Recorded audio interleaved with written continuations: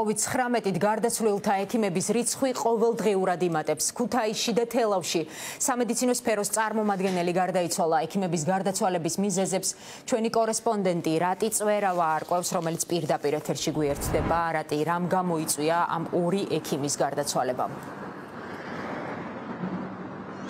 კორონავირუსით ინფიცირებული და გარდაცვლილი მედიკოსების რაოდენობა ყოველდღურად რეკორდულად იზრდება. დღეს COVID-19-ს კიდევ ორი ექიმი ემსხვერპლა. მათ შორის ერთ-ერთი არის თელავის ცენტრალური საავადმყოფოს ექიურომატოლოგი ივანე ამბარდანიშვილი, რომელიც კუნალობას თავდაპირველად თელავში გადიოდა, თუმცა მას შემდეგ რაც მისი ჯანმრთელობის მდგომარეობა დამძიმდა, მედიკოსებმა მისი თბილისში გადაყვანის გადაწყვეტილება მიიღეს, თუმცა თანხლები დაავადებების გამო მედიკოსის გადარჩენა ვერ მოხერხდა.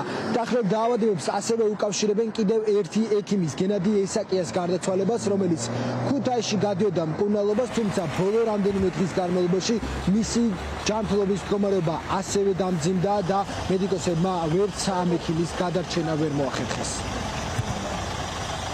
25 ნოემბერს დაუდგინდა ბატონ გენადის და მინდა გითხრათ 4 დღის უკან ის დატესტილი იყო PCR ტესტით და გეგმიურ ტესტირებას და უარყოფით იყო მისი პასუხი.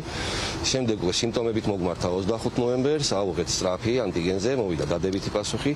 მაშინვე კლინიკიდანვე ჩვენ ჯერ კიდე არ ვიყავით ჰიბრიდული კლინიკა, COVID კლინიკაში, ქუთაის რეფერალურ ჰოსპიტალში, იქნა ჰოსპიტალიზირებული 25-დან დღემდე მკურნალობდა იქ.